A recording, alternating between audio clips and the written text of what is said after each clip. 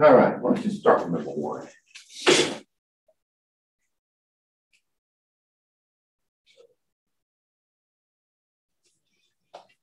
Oh, can't get all of it on there, can I? All right. Which of the following, which of the following molecules contains a central atom with sp2 hybridization? Well, I'll scroll as we go. You don't happen to have an extra, like any extra copies of that would be a good idea. Um.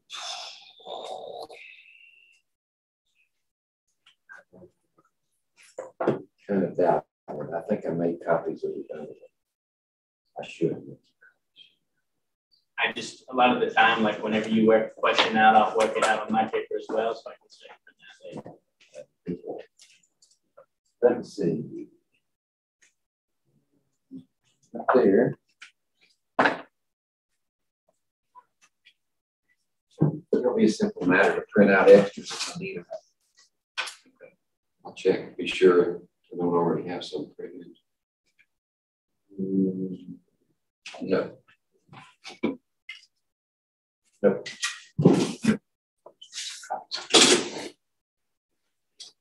In fact, I can do that right here. Let's see, where's print icon? There it is. I'll just send them in here.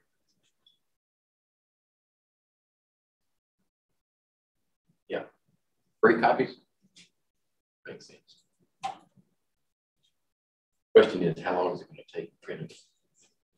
Because for some reason, PDF conversion files like this, they must be huge files. Uh, it only prints on one side, so it's going to be 21 pages.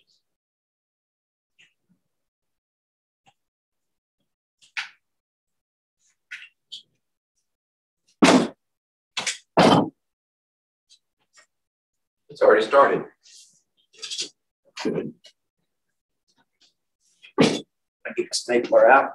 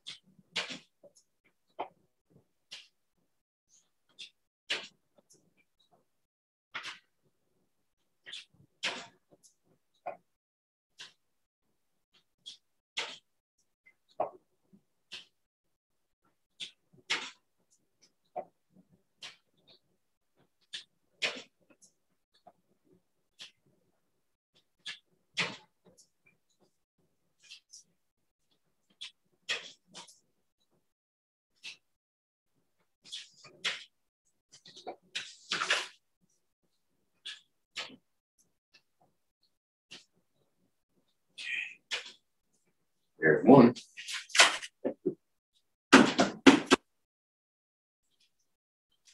Handle.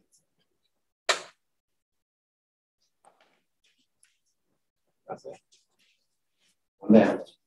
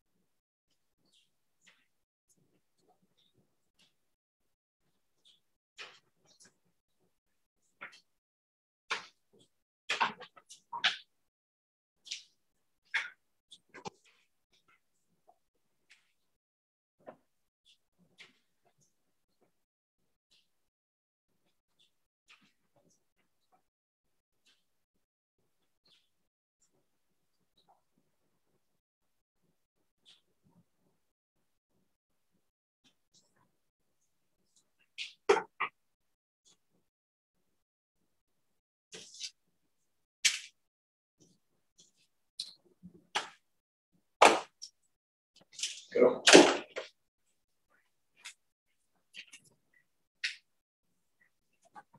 Okay. Uh, okay, where was I? SP two hybridization. So SP two is going to need three orbitals. That means trigonal planar. Remember, that's an electronic structure. So we've got to look at each one and actually it looks to me like um, we've been given, these are the Lewis dot structures. So we've been given everything we need to know here.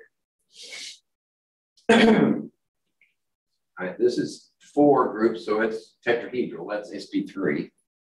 That's sp3. Um, these guys don't need to be hybridized. Oh, there we go. That's sp2. This is tetrahedral. That's got four.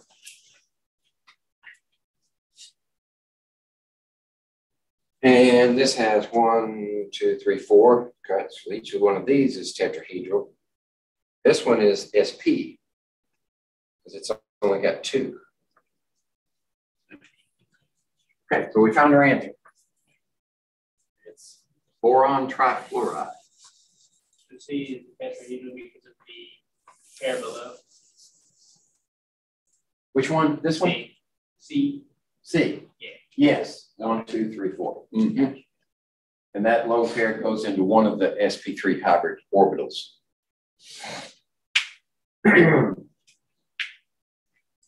okay. Let's see. Well, there's a mistake. It should be a subscript. There. Hmm. Wait a minute.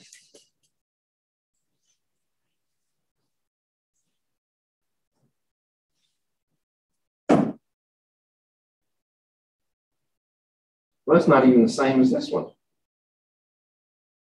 Is that the same as the one you got?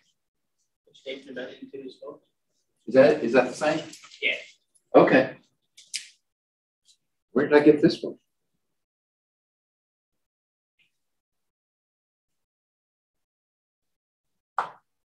How many versions of this thing do I have?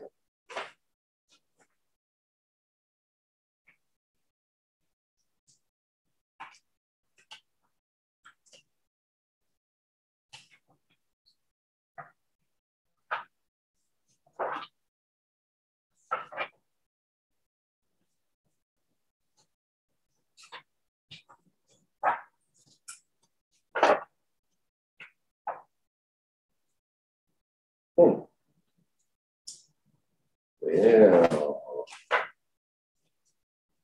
I can't use that. we'll stick, if yours is like this one, we'll stick with this one. Um, which statement about uh, uh, diatomic nitrogen is false? It's a gas at room temperature? Yeah, I mean, we're breathing it. It must be a gas. Oxidation state is plus three on one nitrogen and minus three on the other. That's false.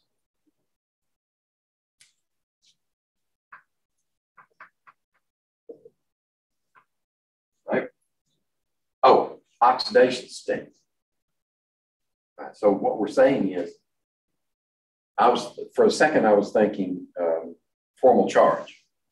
Oxidation state is a different idea on elements that are in their native state at uh, 25 degrees in one atmosphere, um, they're always zero oxidation state.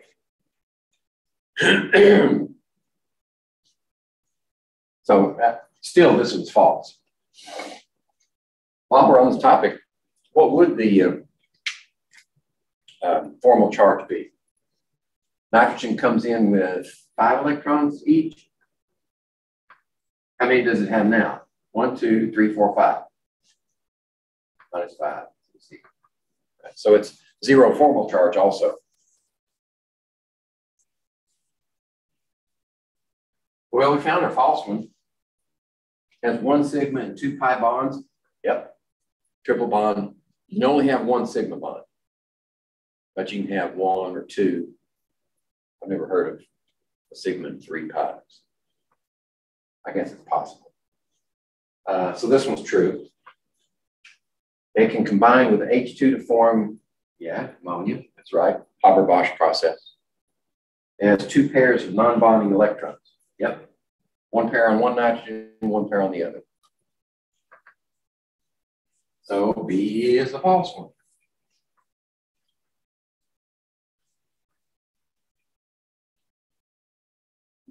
Point. Oh, there it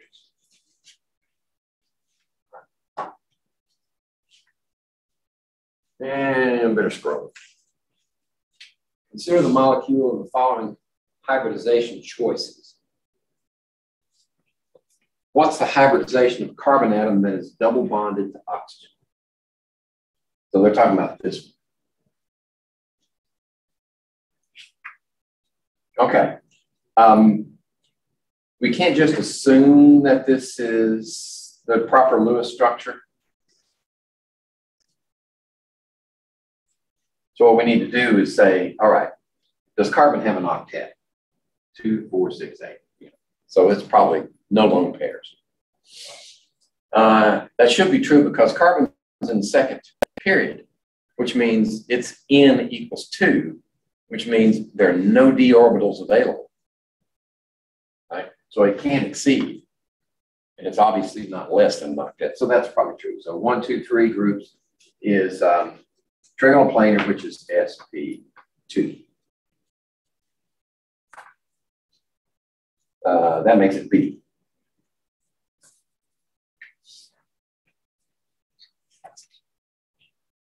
Let's see. Four. What's the hybridization of the nitrogen atom? Oh, it's the same problem, just a different tactic. Hybridization of nitrogen. Okay, in this case, we do need to say, all right, are there any lone pairs? Yeah. Nitrogen will have a lone pair there. That's a two, four, six, eight. Gives nitrogen its octet. So that means nitrogen is linear and sp hybridized. Right here. Okay. Um, that one's tetrahedral, this one's tetrahedral, so those would be sp3s. In case the next one. No, the next one doesn't matter. Specify the hybridization of each carbon atom in the following. So we've got one, two, three, four, five carbons. All right, so this one's going to be, it's got two hybrids, one, two in this group. So this one is sp2. That's one, two, three. That one's sp2. One, two, three. That one's sp2. Goodness. This one's one, two, three, four. SP3. And this one is one, two. SP. So SP, not that one, not that one, not that one. Three SP2s, yep. And then an SP3 and an SP. So A is the answer.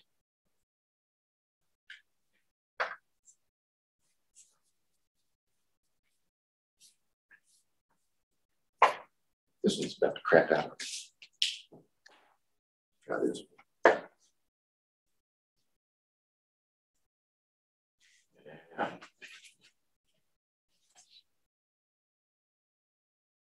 Hybridization of selenium in, in SeF6. Okay, so we got one, two, three, four, five, six fluorines.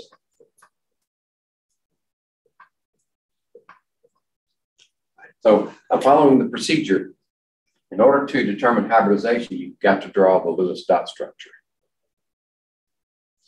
So one, two, three, four, five, six times seven is 42 for fluorine. Selenium is in oxygen's group, so it has six. 48 electrons.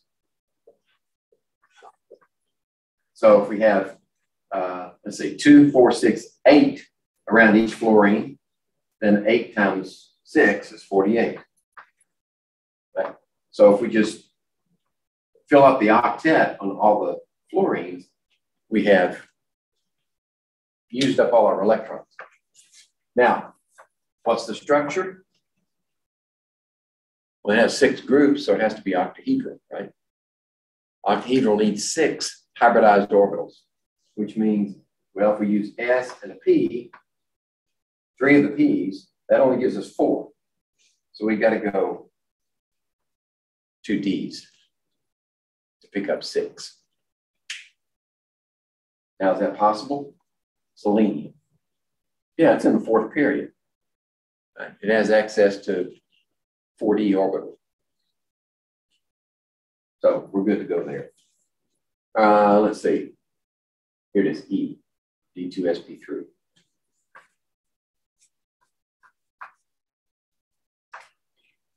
How about PbCl4? Let's see, lead is, where is it? There it is. It's in carbons group, so it has four. And then we have four times seven is 28. We have 32.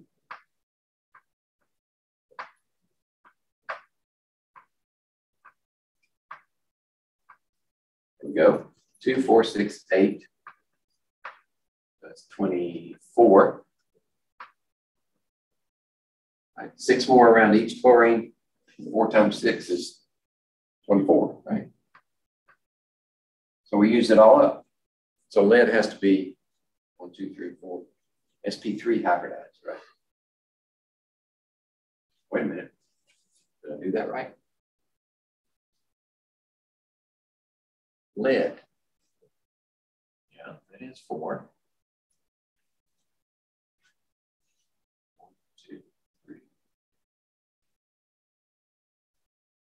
Oh, my mistake. Two, four, six. That's right. Four. One, two, three, four times seven is 28. 28 and four is 32. That's right. We used up two, four, six, eight. 24. Two, four, six. Six times four is 24. So it should be SP3, correct? Oh, none of these. ah. Yeah, that's right. oh, my goodness. Man, it's only 1.30. About eight. This could give you some trouble. Eight. This is the skeleton of the molecule. So we know that there's there are two carbons here, and then carbon on each one, and then a nitrogen out here at the end. So how many of the atoms are sp hybridized, which means how many are linear? So if we say one, two, three, four, five, six carbons is 24 electrons. Six times four. And then one, two, three, four times five is 20. We have 44 electrons.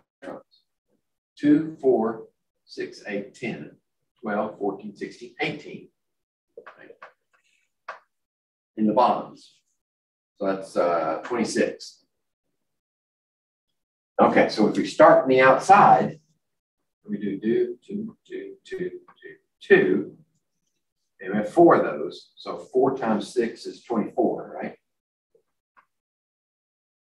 That's two electrons, extra electrons that we need. I didn't put the all around each one of those, but they should have six electrons. So the nitrogens then are uh,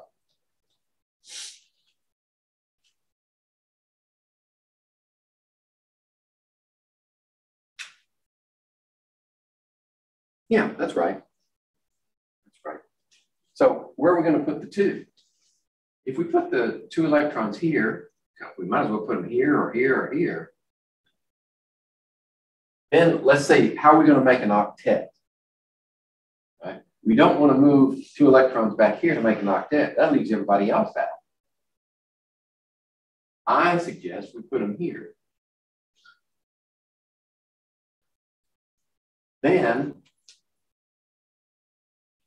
um, we can make an octet out of each one of these by just moving these two over here, making a triple bond.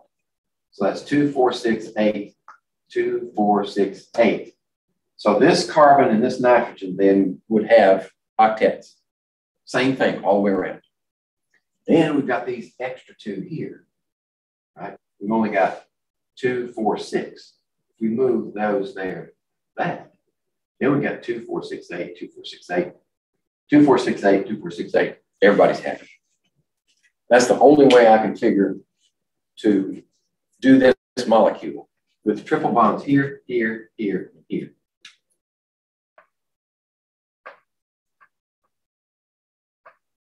And still have a lone pair around each nitrogen. That would give us octets for everybody.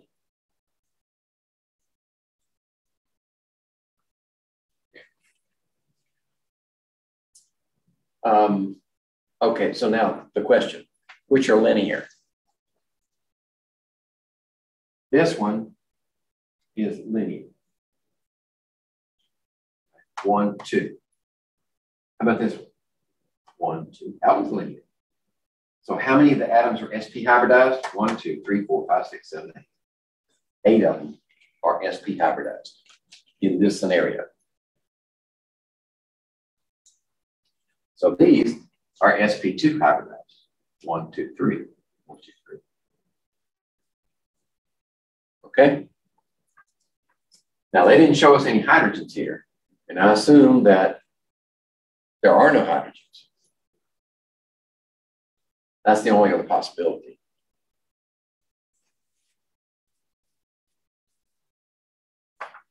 So that one, that would probably give a student trouble. You know, see that for the first time. Like, where do I go from here? I mean, it's not like it follows the rules because we work from the outside in. That means the extra pair could go here, here, here, here.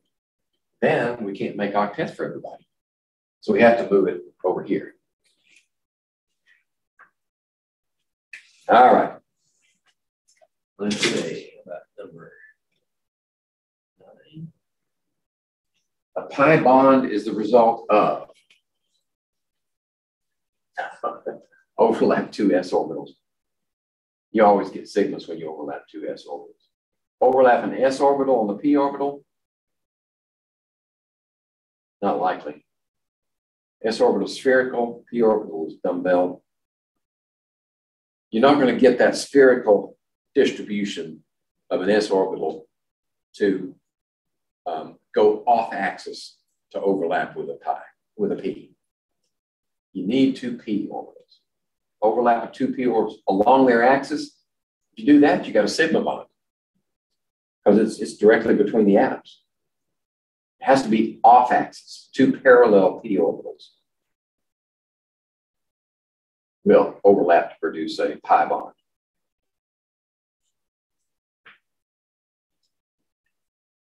Okay.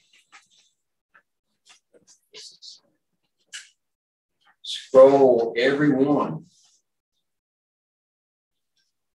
Looks like 11 uses the same model.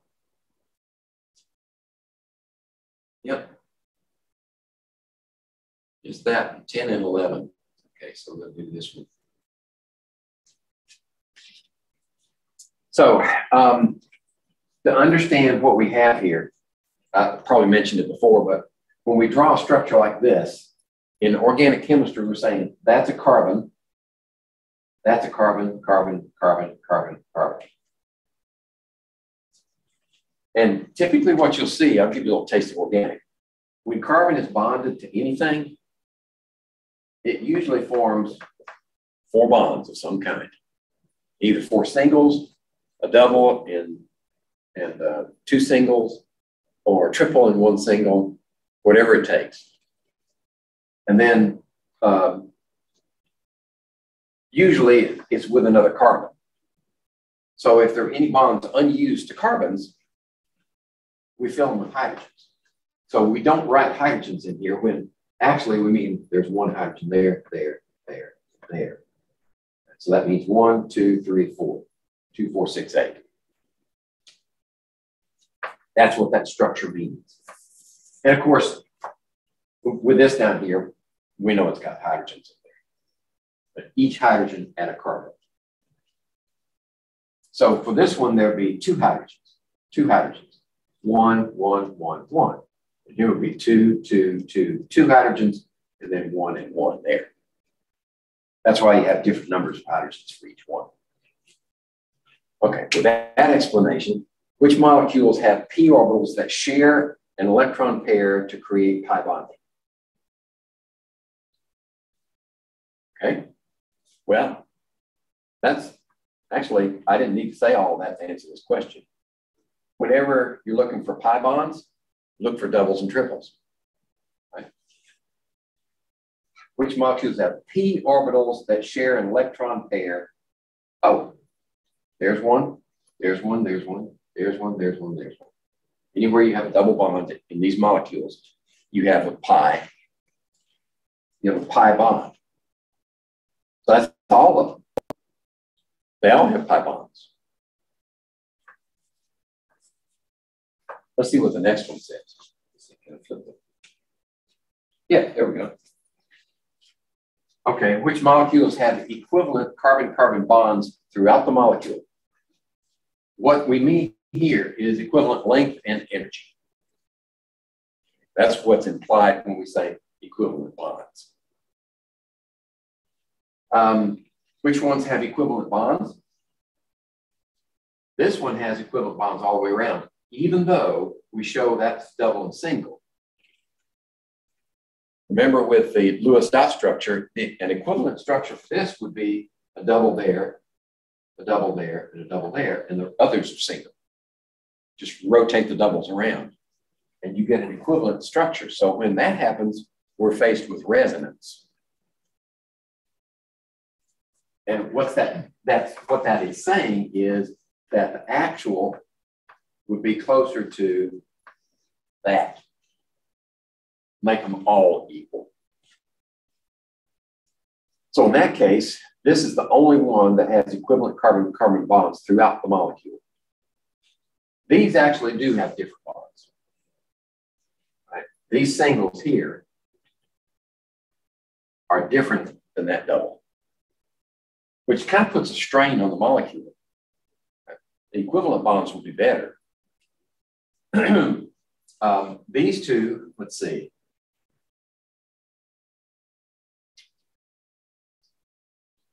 Yeah, this one, this one, and this one are equal single bonds. This one and this one um, delocalize with that one. So these bonds would be equal to each other there. This one doesn't have the opportunity.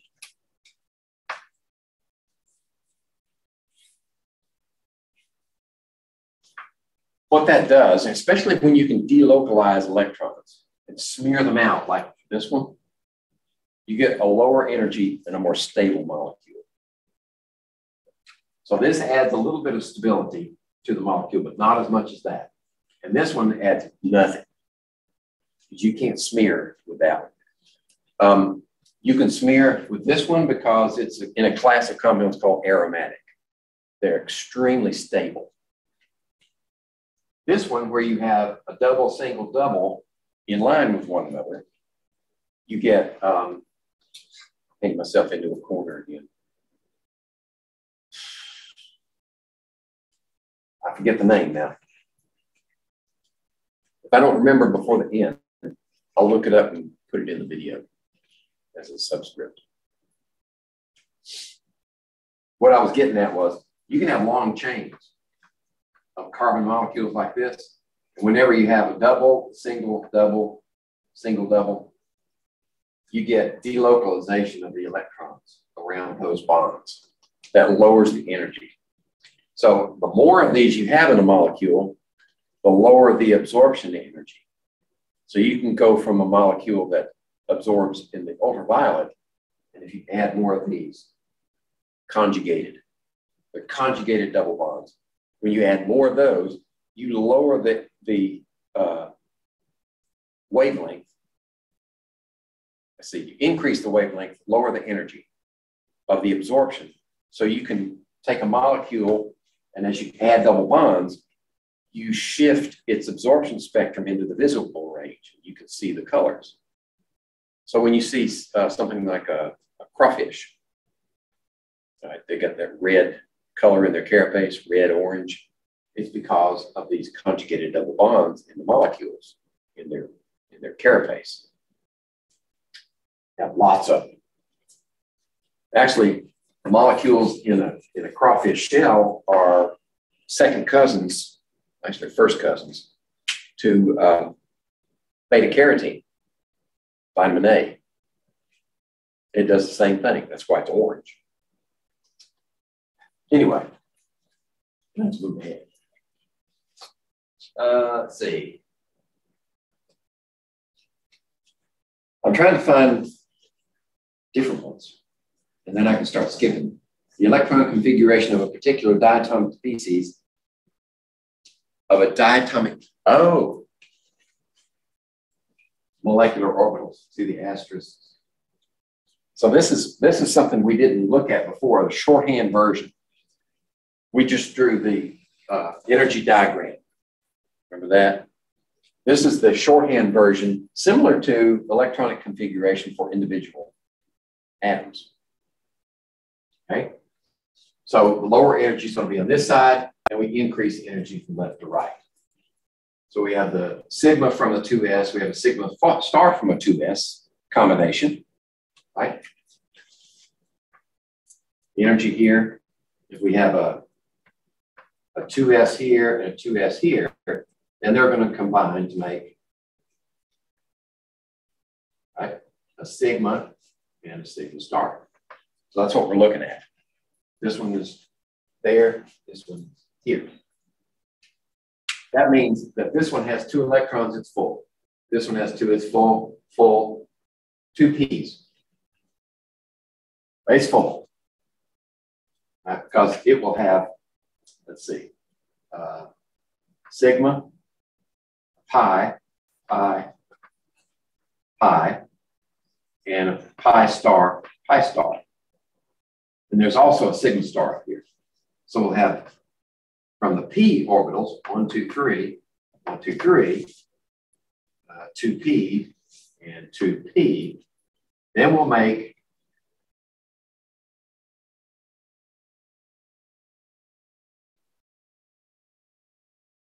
see if that's the right number. Six, one, two, three, four, five, six. Okay, we have to conserve the numbers. So this one is your sigma, this one's your pi, this one's your pi star.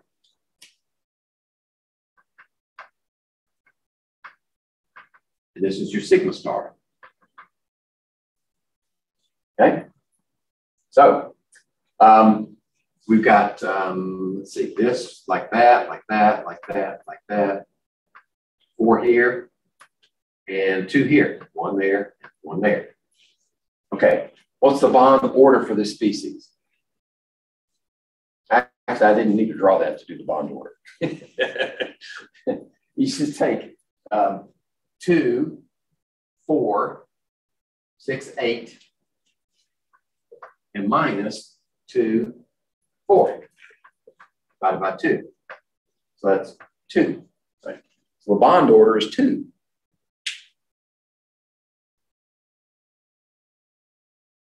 Okay.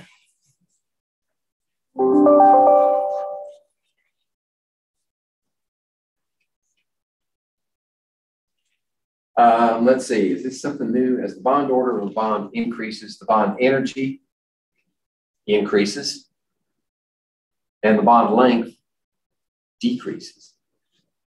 You increase the energy of bond, it draws the nuclei closer together.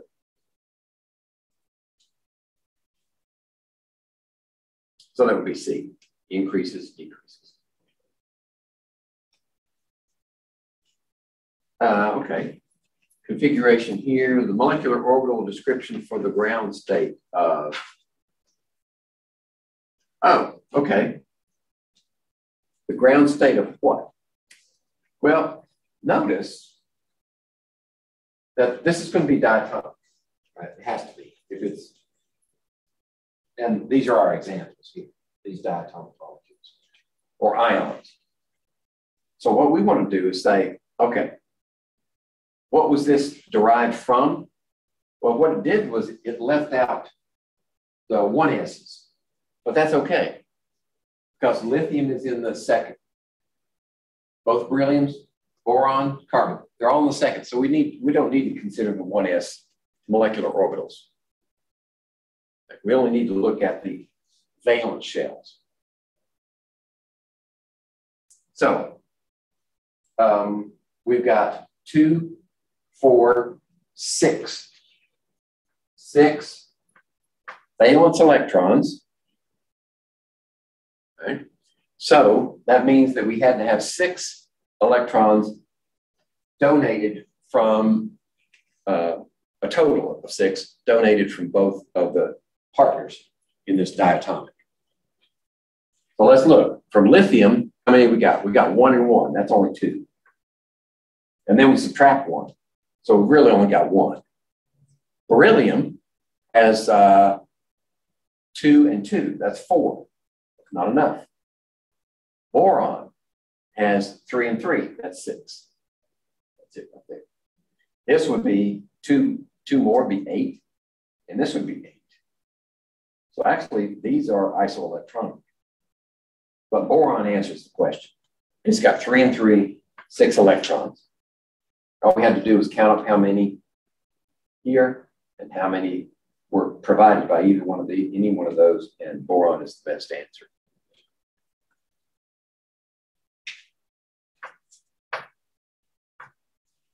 All right, let's see. Yeah, we can still see that.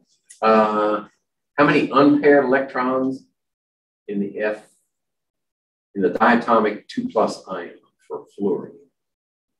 Based on the molecular orbitals, order of the molecular orbitals are. Okay, so we're giving these this shortcut without the number of electrons in it. So what we need to do is add up the electrons. So we got two fluorines, right? So it would be, if they were neutral, we'd have how many?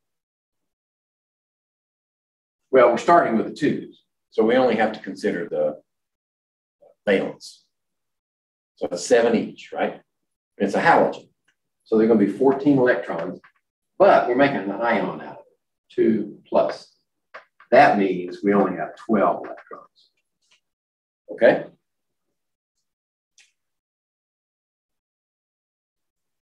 All right, so um, we start filling them up, right? 2s, it can hold two. This one can hold two. P's can hold four. So that's eight. We have four more. Here we go. Oh, excuse me. My mistake. That's a sigma. I can only hold two. Sorry. Then the, the pi's have two degenerates P. So we can have, you know, like that, like that, two, four, six, six left over. So we have one, two, three, four. Okay, those are full. Then we have two more left over. They go right here. So uh, the order of the molecular, let's see, how many unpaired electrons in the F2? Uh, so we've used them up before we get to this one. There are two unpaired electrons right here. Because this one would be like that, like that. According to Hund's rule.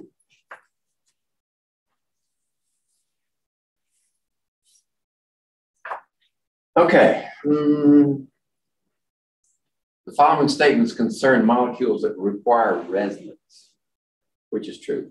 The pi bonding is most clearly delocalized. Okay, yeah. Examples of that were um, the benzene molecule and the uh, nitrate ion, you know, 3, 2 minus. They all have delocalized and the pi bonding is delocalized. This was when we were talking about sort of a hybrid between the molecular orbital and the valence bond theory.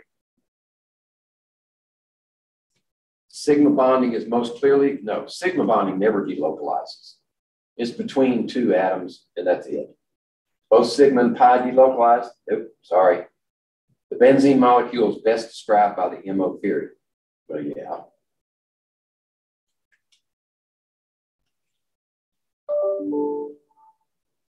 The reason being that if we describe it with a valence bond theory, we have to resonate it. But if we use the molecular orbital theory, uh, one structure and one electronic diagram is sufficient. We don't have to do any tweaking. Yeah, E is, D and E can't both be right. So A and D are the best answers for this one. Both A and D.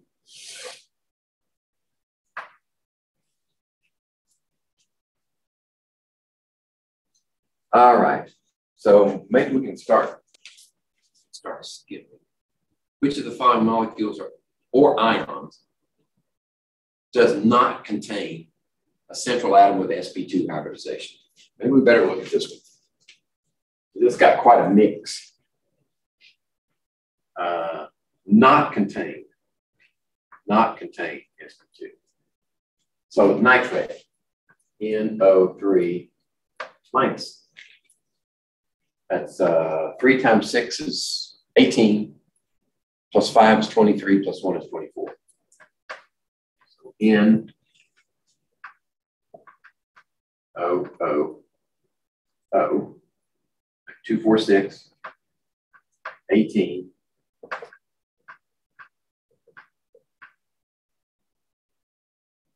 So 6 times 3 is 18, right? Yeah, 18. Uh, oh, excuse me. What did I forget to do? Forgot to add that electron. 25. 2, let's see. 8 times 3 is 24. There we go. So that would be, uh, the problem with these, did I do that right? Five. Six times three is 20. No, 24 is right.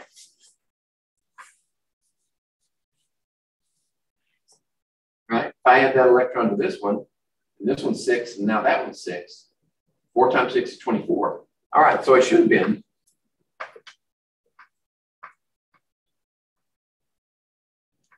eight times three is 24. It's like that. That's trigonal planar. This one is sp2. Yeah, okay, so that was, we're looking for the one that's not. How about ozone? You have to know what ozone is. Right, so it's three times six is 18, uh, minus four is 14.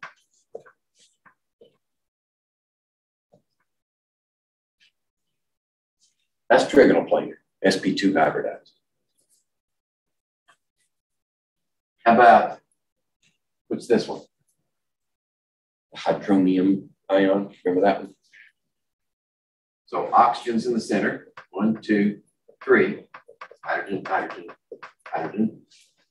So it's uh, one, two, three plus six is nine. Oops, we're missing one, so it's eight. So two, four, six, eight. That's it. This one's SP3 hybridized. It's four groups. Yeah, this might be the other one. I'm sorry? This might be the one that you, this one says you make the community involved.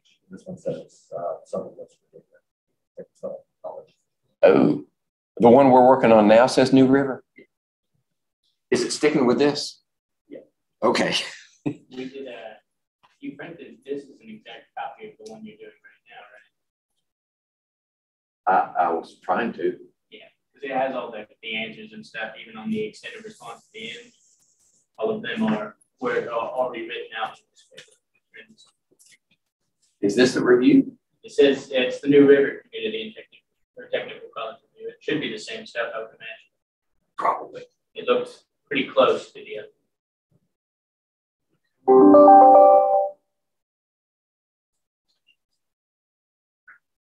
Uh, let's see, we did that one already. We found the answer. This one, hydronium. That's SP3 hybridized.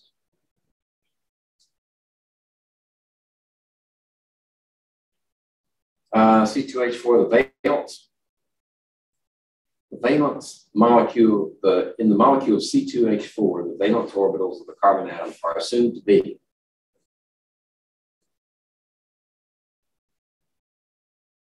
Oh, we did this one in class. Ethylene, C2H4. Like that. We found we had to put a double bond there. Right. So these carbons are sp2 hybridized.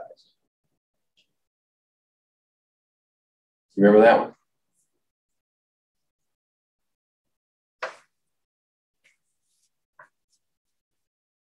Hybridization of the central atom in ClF2, ClF2 plus.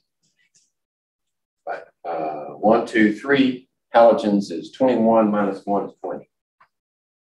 So chlorine, fluorine, that's two, four, 16.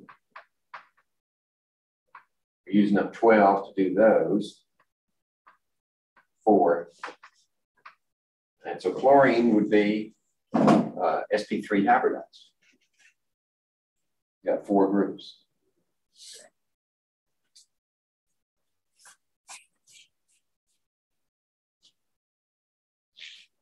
Let's see. Let's get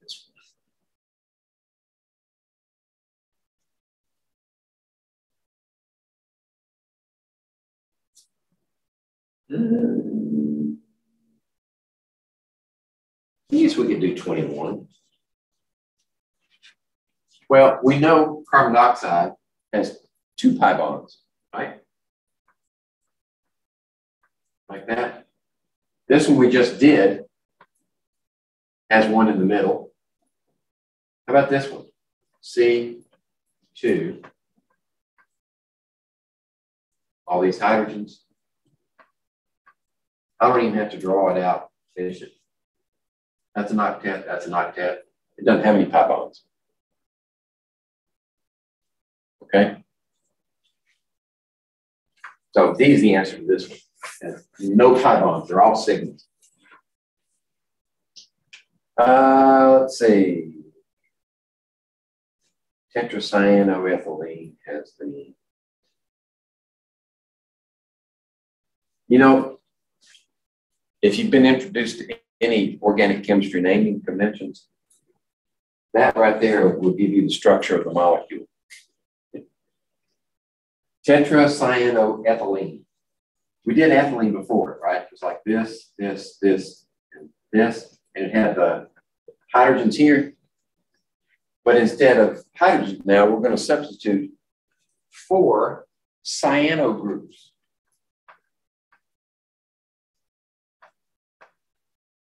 The C triple bond N is a cyano group.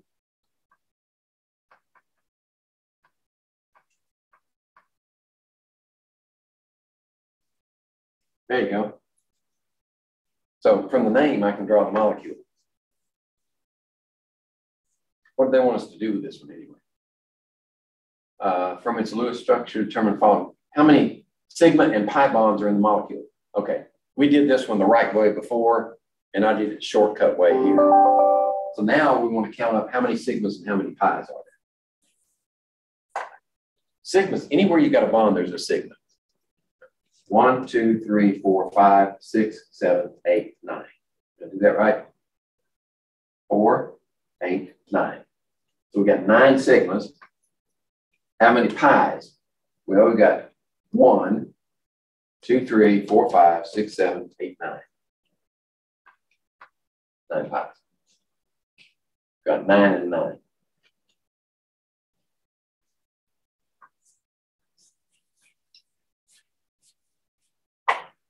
Let's see. Am I coming? I'm wasting so much time. Do we have, uh, well, this isn't the right one, but let's see, total number in your copy. Total number, 29?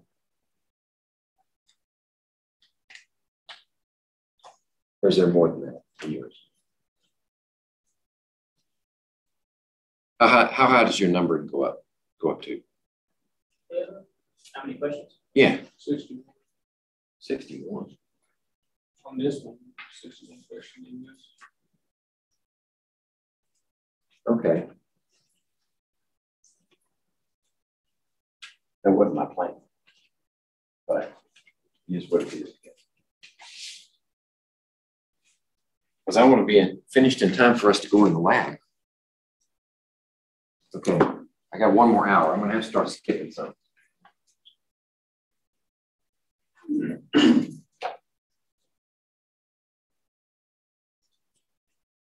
what, this one's shorter. Maybe that's why I wanted to use this one.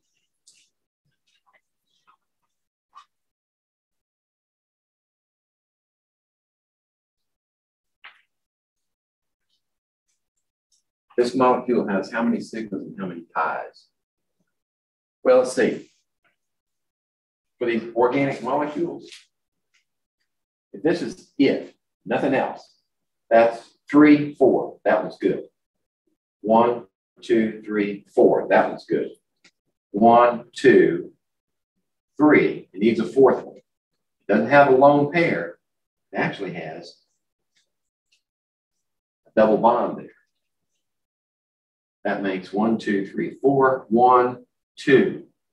All right. But this one, we're going to have a triple there. Now, how do I know that? Well, the only way to prove it is Lewis dot structure. One, two, three, four, five times four is 20, plus five is 25, plus six is 31, 32, 35, 38. Okay, so we've used up three, right? A single bond for each one of these hydrogens. Three, four, five, six, seven, eight, nine, 10, 11, 12. Times two is 24. So that's uh, 14. So we do two, four, six,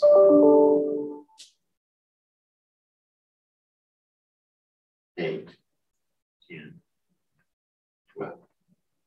About that. Yeah, I didn't, I did it in the wrong order. I'm supposed to put outside in. Two, four, six, eight, ten. We used up, I didn't count that right, did I?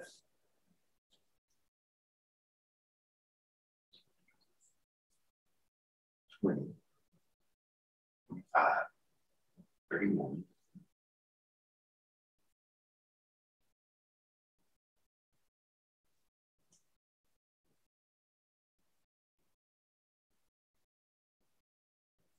Thirty-eight, that's right, thirty-eight. And then um, four, five, six, seven, eight, nine, ten. Start over again. One, two, three, four, five, six.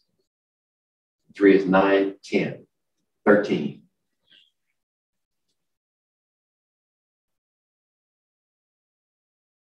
I've already got 13 single bonds, 13, 26. So that's 12. 2, 4, 6, 8, 10, 12. There we go. Okay. So why did I put this one here? For a similar reason for, that I did for that last molecule. Because if I put it over here, then we can't make the uh, octet for this carbon. What we're going to do is move these two over here and make a triple bond, and then move this pair over here to make a double. So molecule has how many sigmas? Well, three, four, five, six, seven, eight, nine, 10, 11, 12, 13. 13, see one of these. And how many pi bonds? One, two, three. Three pies. So there you go, 13 and 3.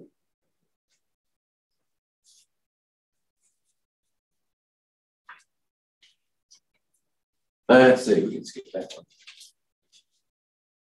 Beat that horse again.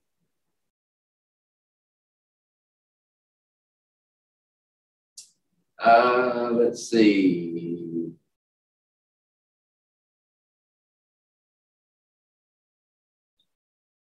Yeah, let's do this one. 28. If we compare BE2 and H2,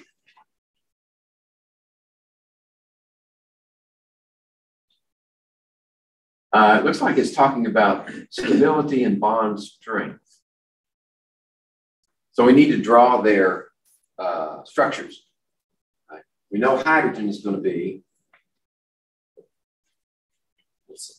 That's not the way to do that.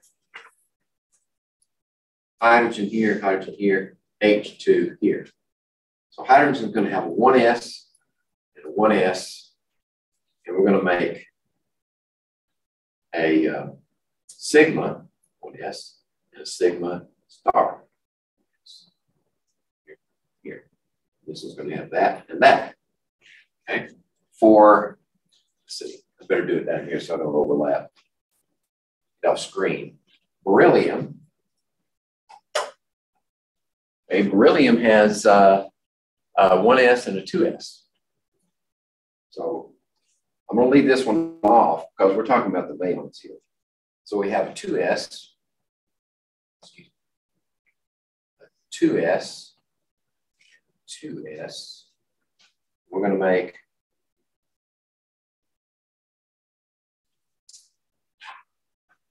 that. Uh, beryllium has what? Um, in the in the s orbitals, it only has two. Right? So now we have a sigma 2s and a sigma 2s star. And we'll put two down here and two up there.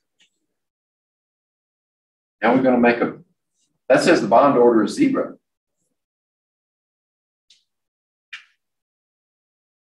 Is that possible?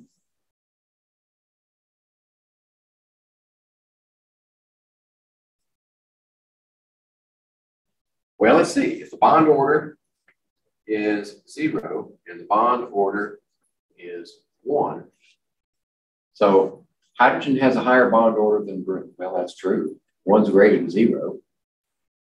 Uh, H2 is more stable because it only contains, is that right? It only contains sigma 1s electrons. It's more stable.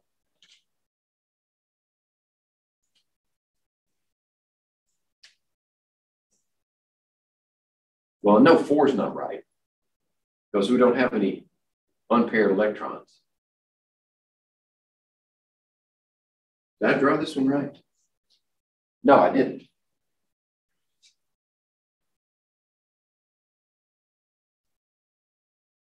I didn't draw that one right.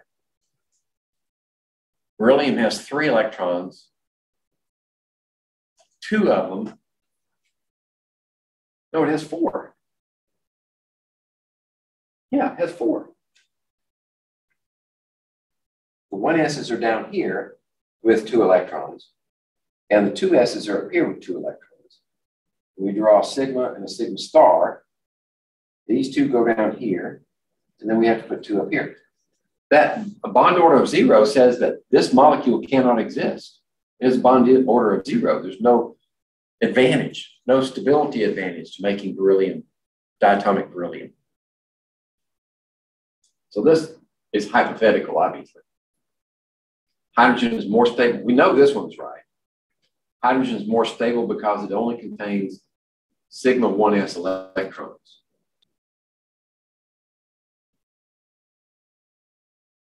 I don't know. That's not a good question. Agree? Anything I say, right? That's not a good question, at, at least for students at this point. I mean, I can't even figure it out. The answer says that um, three is also a good answer, but I just don't see it. Just because it has sigma 1s electrons, why would that make it more stable? It has one proton, beryllium has three. Well, that should decrease, decrease the energy, except that the bond order is zero. I think a better answer would have been to not just to say this one's higher, but Be2 has a bond order of zero. Okay, let's bypass that one. Uh, okay. Which one of these is paramagnetic? What do we mean by paramagnetic? It's attracted into a magnetic field. It's, and it's attracted into the field because we have unpaired electrons. So we need to look at the unpairing of electrons. So I'll tell you what, um, should have it, here it is, this diagram in the back, that will be available on the exam. And you can see what the structure of each one of these is, I think. Yep, lithium, fluorine, oxygen, carbon. Okay, so they're all there. So we look at the uh, number of mm, valence electrons, because these are only uh, n equals two. So carbon would be four, eight here.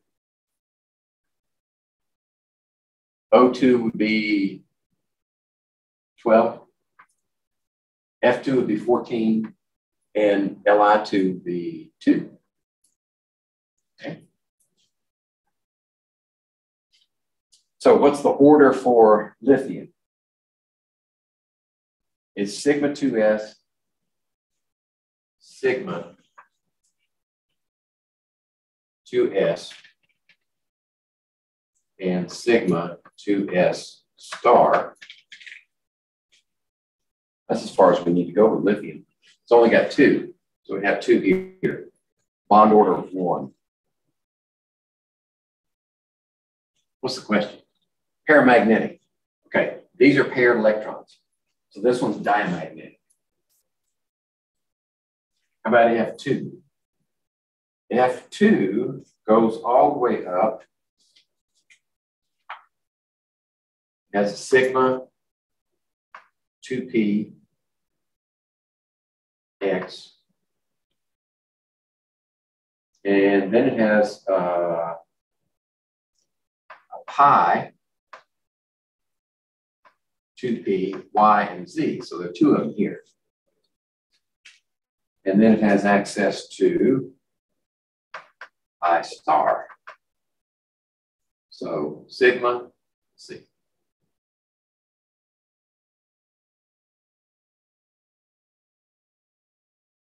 Oh, and then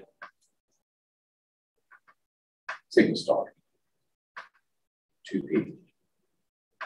There we go. So I was looking at this one, right? Uh, sigma pi, pi star, sigma star. That's uh, no SP mixing for this one. All right, so the number of electrons, 14, that's two, four, six, we can put four in here. And then for this one, another pi has two orbitals. Two, four, six, 10, 12. Oh, 14, excuse me.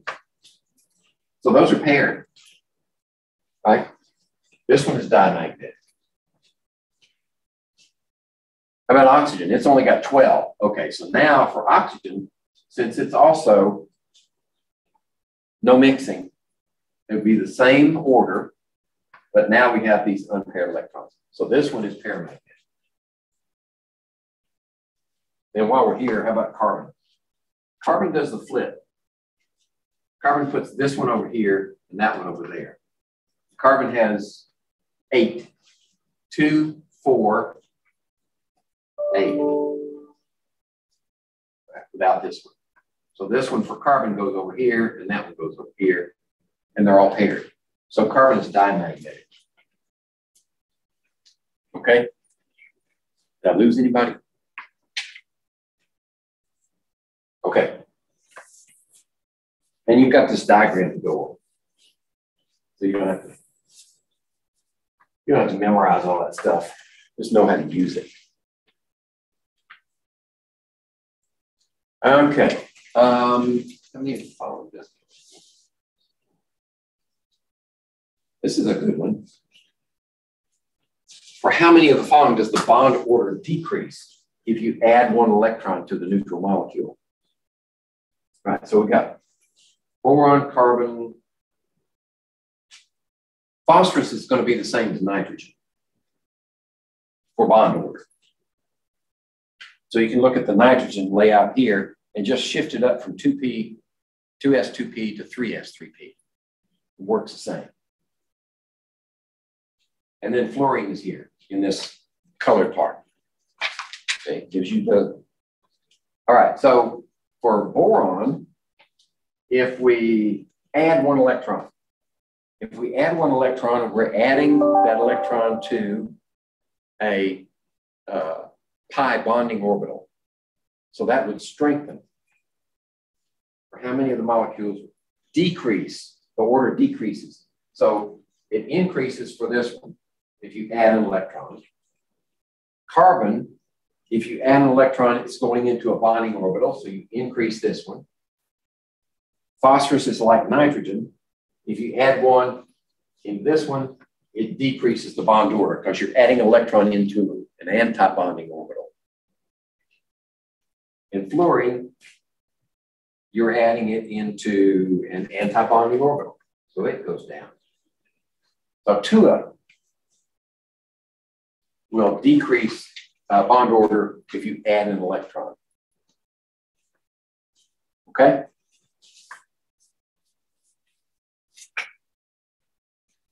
All right. Which one of the following has the largest bond order? For this one, we look at this diagram again.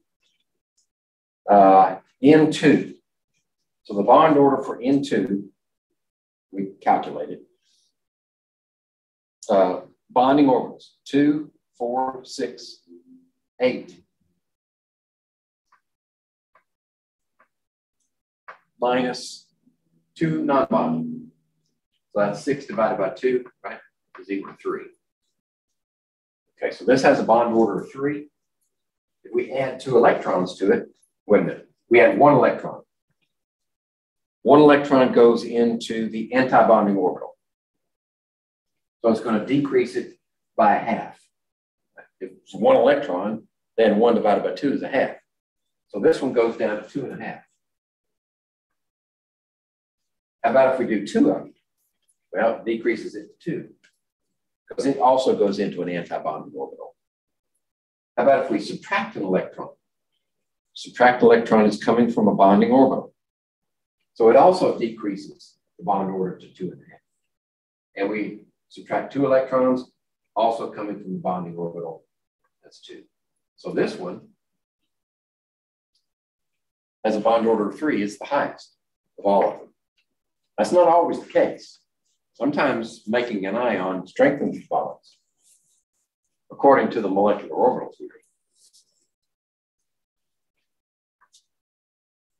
theory. Okay. Uh, what's the order of the following in the shortest, from shortest to longest bond?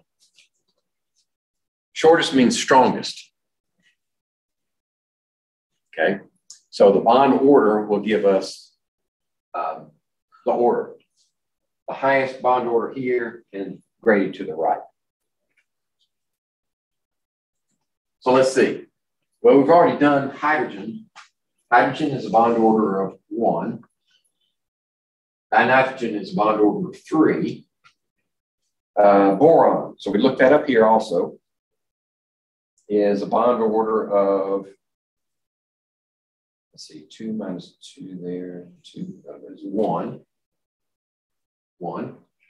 Carbon, here we go, carbon is a bond order of two minus two is two. Wait a minute, hold on a second. Those cancel. Two, four minus two, yes, two.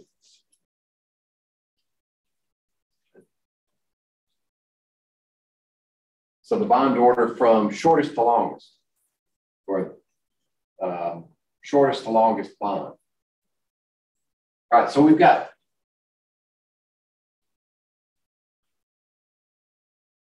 Okay, it's not just the bond order.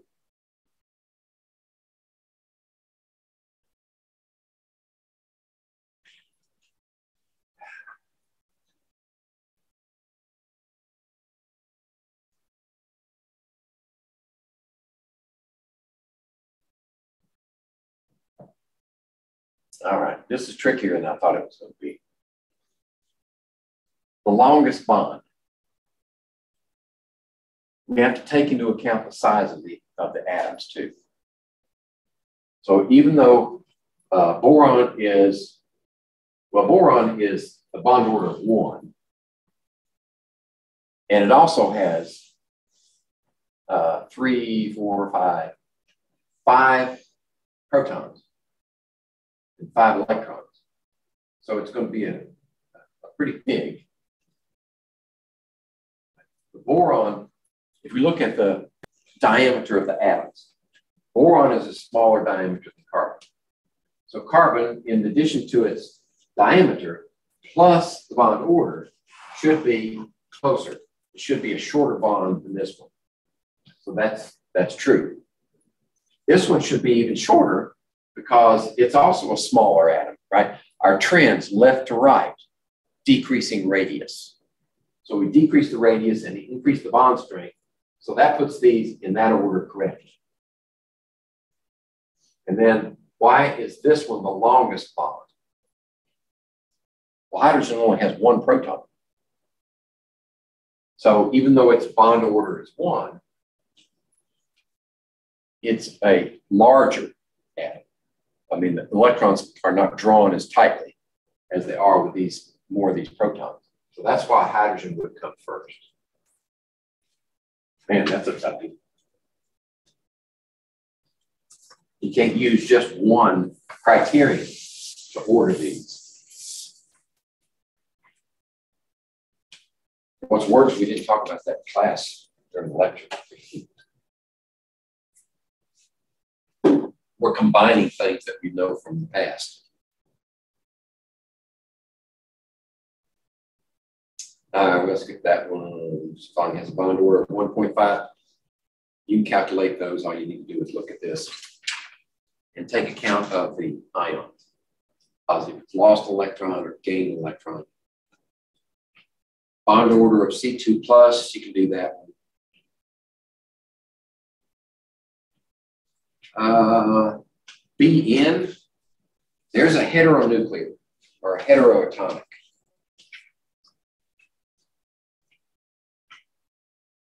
How would we do that one? Boron is here, so it's subject to mixing. Nitrogen, oh, nitrogen's subject to mixing too, isn't it? Yeah. Okay, so they're both subject to mixing, which means that their, their order, uh, the molecular orbital order is going to be uh,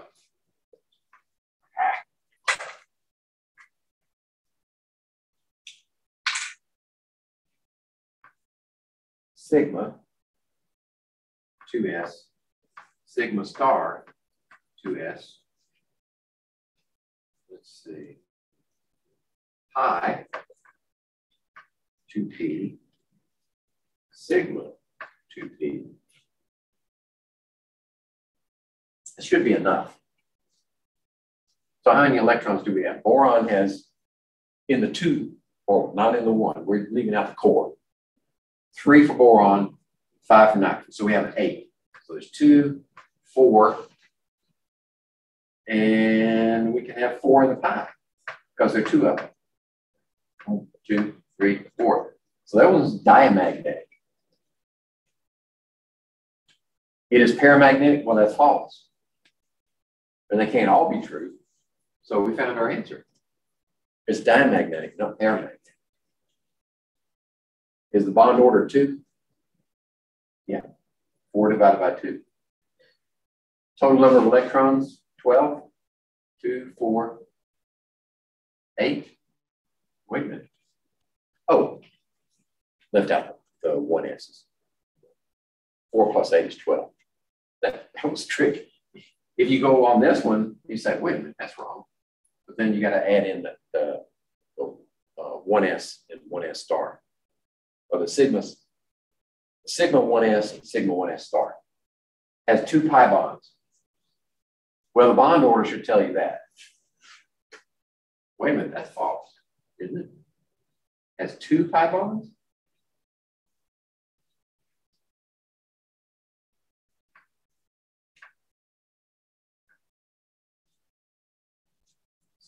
Eight. Yeah, eight minus two, six. One, two, three, four, five, six. Try to make as many. Two, four, six, eight.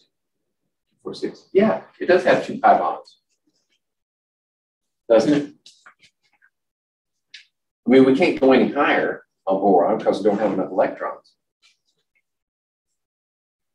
Yeah, that was true. It has two pi bonds. There's a triple bond between these two guys.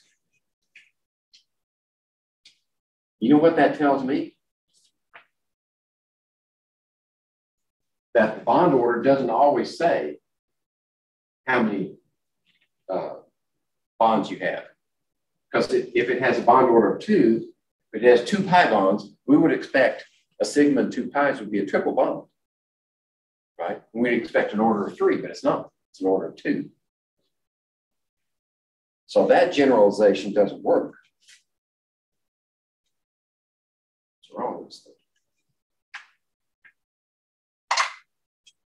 Try to use that.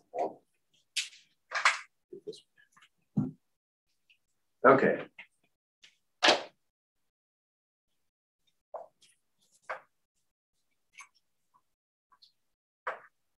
Um, let's see. All right, that's nothing new. Molecular orbital description of carbon monoxide.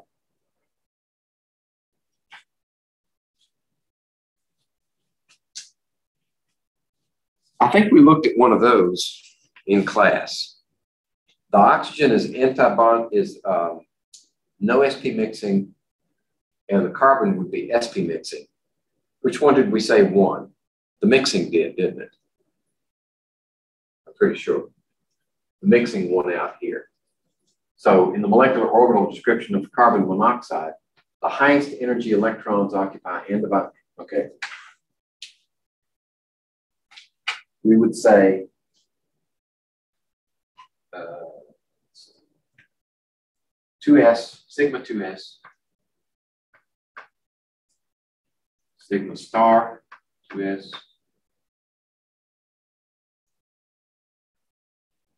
pi 2p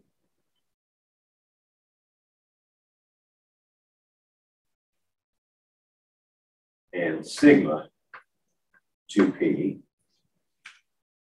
And then we could possibly have pi star 2p. And then the next one above that is sigma star. 2p.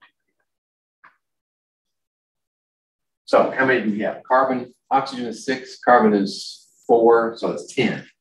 Two, four, four is eight, nine, 10. Those are paired because sigma can only have two. So that one's the highest energy electrons occupy anti-bonding orbitals. That's false. Six molecular orbitals contain electrons. Well, one S, one S. So we have two here, two here. These count the valence electrons. These are the core.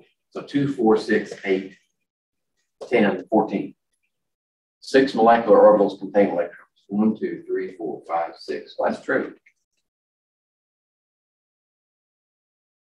Bond order is three. So four, five, six, seven, eight minus two is six divided by two is three. That's true. This one's true. There are two unpaired electrons. No.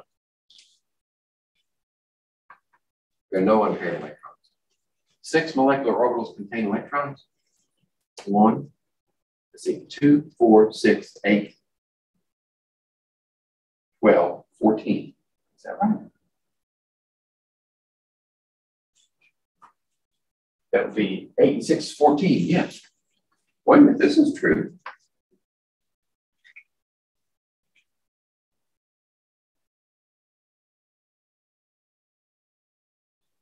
So that's the wrong answer. It could be B or D, right?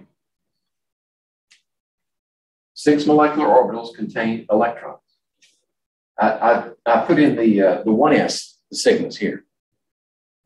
So that's two. And we have 14 electrons, right? Six for carbon, eight for oxygen. That's 14 electrons. Two, four, six, eight, 10, 14. And one, two, three, four, five, six orbitals contain electrons. Right? So this could be B and D.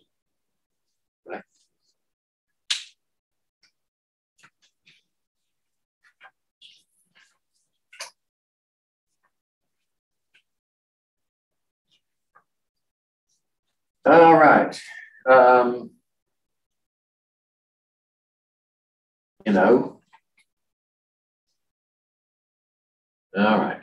So there we have nitrogen. Nitrogen is mixing, O is non-mixing, but nitrogen is more mixed than O is not mixed. Based on the position of this orbital right here, right, it's very close to that one. So when it combines with nitrogen, it's more likely to be mixed. So you would use the mixed structure for NO.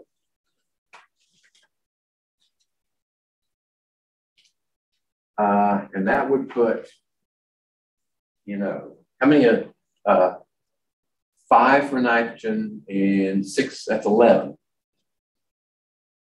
11. Okay, so we got 11 going in, we've got a 2S, let's work it from here. Two, four, six, eight, 10, and then one unpaired. So that's one, three. Got three non-bonding and 11. Is that right? 11 minus three is, is eight. The NO molecule. Know, something wrong here. Using up all our time. All right you know. So we've got a sigma, 2s, sigma star, 2s, we've got pi, 2p, sigma, 2p, yes, and we have a pi star, 2p, that should cover all of them. Uh, valence electrons, five plus six is 11. Two, four, eight, nine, 10, 11. Okay, so we have three subtracted from two, six, seven, eight. Okay, five divided by two is two and a half. There it is. That's what I get for trying to do it in my head.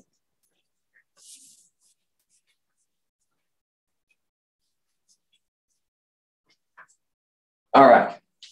Um, let's see. So I don't eat up all of our time. Let me scroll down. Why don't I look for, let's see, that's a lot of, here we go. Fill in the blanks. What's the hybridization of the carbon orbitals for ethylene? We did that one before. It's trigonal planar sp2. Mixing, to form special orbitals, hybridization. That's with um, the localized electron model, valence bond theory. We have to use hybridization in order to mix native atomic orbitals to form special orbitals. Um, bonding molecular orbital is lower in energy than the atomic orbital of which it is composed. That is true. When you combine atomic orbitals, you get a mix, you get a bonding and an anti-bonding. The bonding is always lower than the ones that came in, atomic orbitals, and the anti-bonding is higher. Bond order is the difference between number of bonding electrons and the number of anti-bonding divided by two. That's true. Paramagnetism causes substance to be attracted into the inducing magnetic field. Diamagnetism repels. Uh, resonance is required for certain molecules because of the localized electron model. That's when you have equivalent uh, Lewis dot structures. And they have equivalent uh,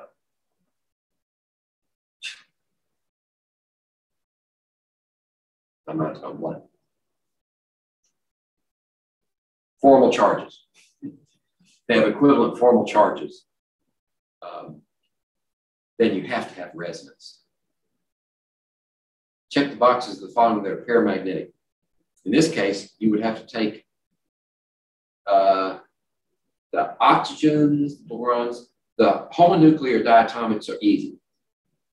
Uh, diphosphorus down here treat it like nitrogen because it's in that group. You just change the number from two to three and you treat it the same way. This cyanide is the one that would be tricky. Uh, carbon is, no, it wouldn't, because carbon and nitrogen are both sp mixing.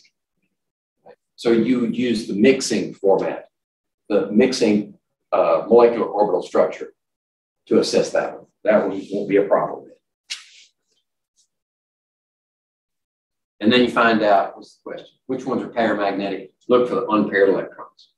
It doesn't matter where they are, bonding or non-bonding, as long as they're unpaired, they will give you a paramagnetic molecule. And don't forget the uh, ions. You add up your number of electrons.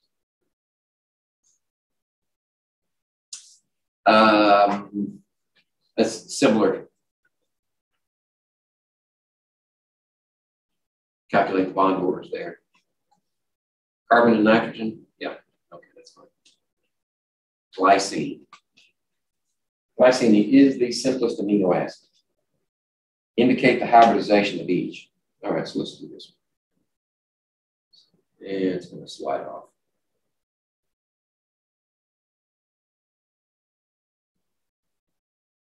Maybe I could get, yeah, there we go. Okay. So have we accounted for all of the electrons? Uh, if this is the structure, then this one is an octet, that one's good. This one's an octet, that one's good.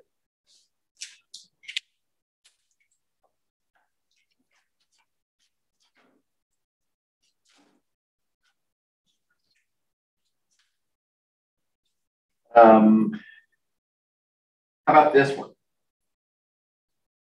All right, let's just do the Lewis dot structure. I don't think that'd be simpler. All right, so we got how many hydrogens? One, two, three, four, five. Okay, oxygens are six each, 12. Carbons are four each, one, two, eight. And nitrogen is five.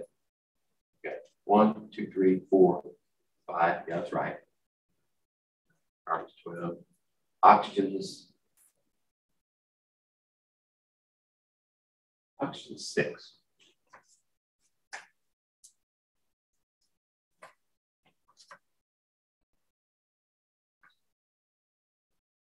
Yeah, oxygen six. Nitrogen is five. Okay, so we should have uh, 10, 20, 28. There we go. Okay. 2, 4, 6, 8, 10, 12, 14. Then 1, uh, 2, 4, 6, 8, 10. That's 24. So we have four electrons that we need to place. Where do they go? Well, if we're showing you the actual bonds, we don't need to make any more bonds. If we put a pair here, that uses up the four. But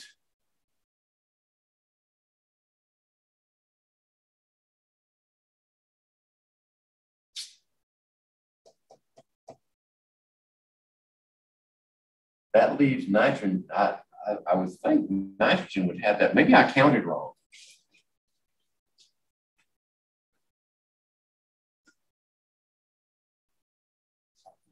Two oxygens. I did those right here, six. One, two, three, four. Five hydrogens. Two oxygens.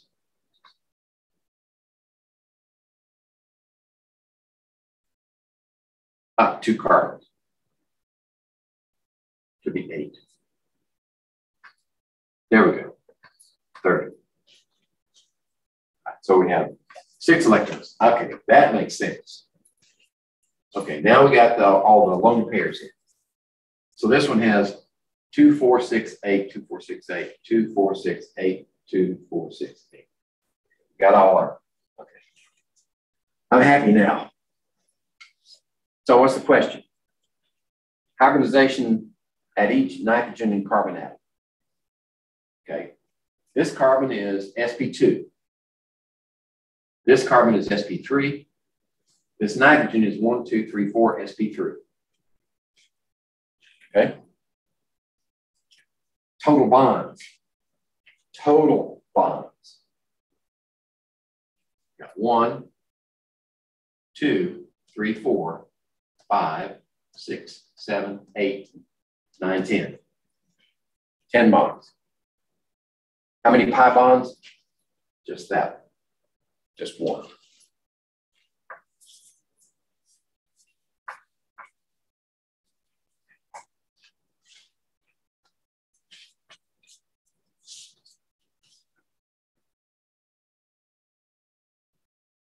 Okay. Explain the concept of delocalization of electrons in SO3. Indicate how this idea relates to resonance.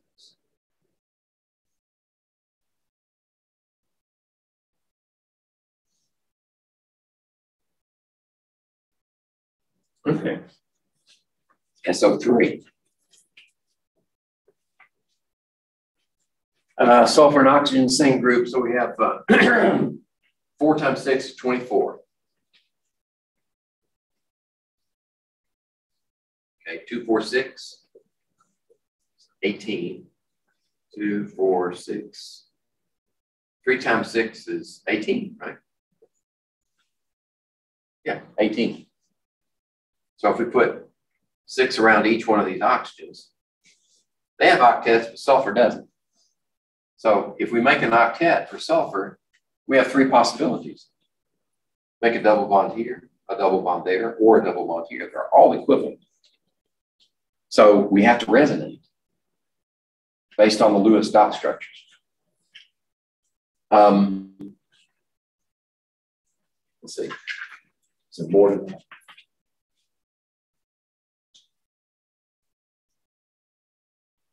Back to the question. Explain the concept of delocalization of electrons in SO3. Okay. What we're saying is that if we make a double bond here, or if we make a double bond here or here, we know that they're all equivalent bonds right, from physical evidence. So in order to make all these bonds equal, we have to delocalize that double bonding over all three bonds. The localized electron model says that we have to resonate because that's the only way we can draw it. But if we smear, if we delocalize those electrons over the whole molecule, we lower their energy and then stabilize the molecule. So resonance is the way that the localized electron model deals with uh, delocalization. Because it's at its core, the valence bond theory says that those electrons belong here, nowhere else, or here, or here. So we have to resonate. But if we invoke delocalization, uh, which really didn't come around until the molecular orbital model, and then we had to say, all right, they've got to be delocalized. Otherwise, we can't have equivalent bonds. So that's a long way of saying what I put in words there.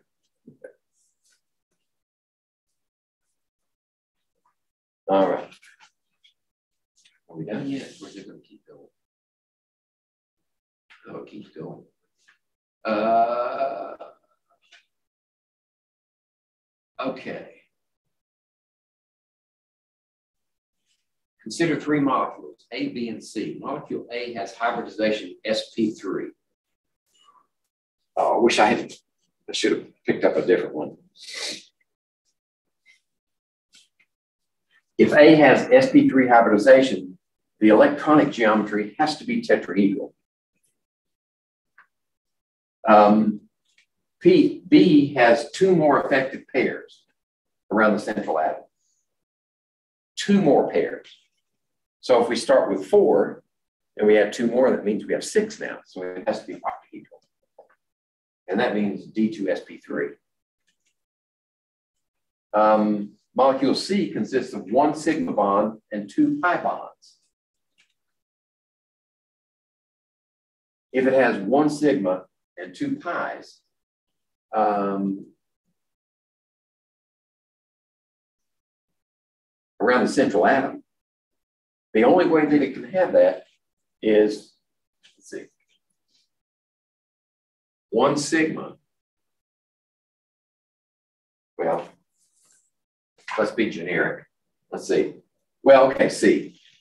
It doesn't mean carbon, it just means C molecule. One sigma means that. How can you have two more pi bonds if you don't have a sigma already? You can't put another sigma over here because now you have two sigmas, right, with another atom. So if it only has one sigma, it can only have two atoms. And the only way now to have the two pi bonds is to make a triple bond. That means it's linear, which means sp hybridization tetrahedral bond angle, obviously. Um, the if all of the positions are occupied by atoms, then you have both 90 and 180 degrees for the octahedral molecule. And uh, SP has to be 180 degrees. There's no other option. Examples, all right. Methane is a good one for that one, or carbon tetrachloride. SF6. Yeah, that's a good one. Has six bonding groups, makes it octahedral. Carbon monoxide, well, that's a good one too, to make it linear. So if this is an oxygen, like that. But in order to make a octet, you need those lone pairs. So that would be two, four, six, eight, 10. Yeah, 10 electrons, that's right.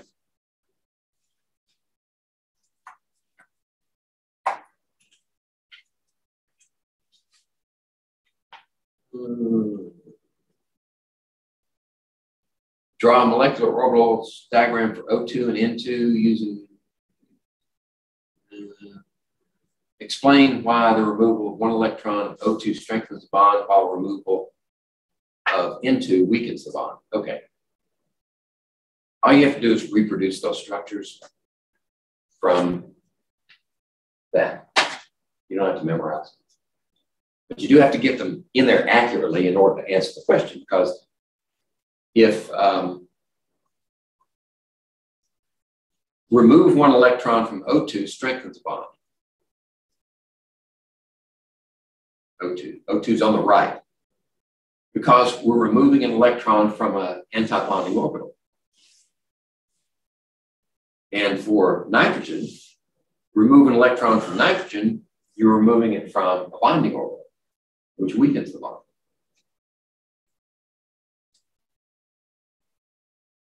Okay, rest is extra information. Okay, I'm done.